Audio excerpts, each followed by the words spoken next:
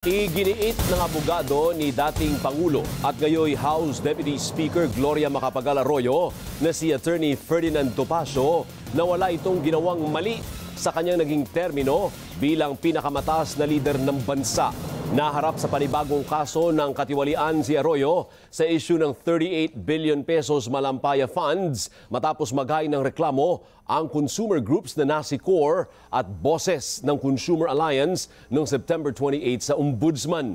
Paglilinaw ni Topacio, wala pa silang natatanggap na opisyal na kopya ng reklamo at pawang sa mga balita lamang anila sila nakakakuha ng paunang impormasyon ukol sa usapin. Tuloy-tuloy po ang ating pagpapatrol sa bayan mula lunes hanggang biyernes sa TV Patrol. Alas 6.30 ng gabi hanggang Sabado at Linggo sa TV Patrol Weekend. Sa bago nitong oras, alas 5.30 ng hapon.